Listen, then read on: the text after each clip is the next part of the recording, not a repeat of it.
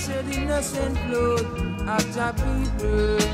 Whoa, oh yeah, whoa, oh, Jah shall clean.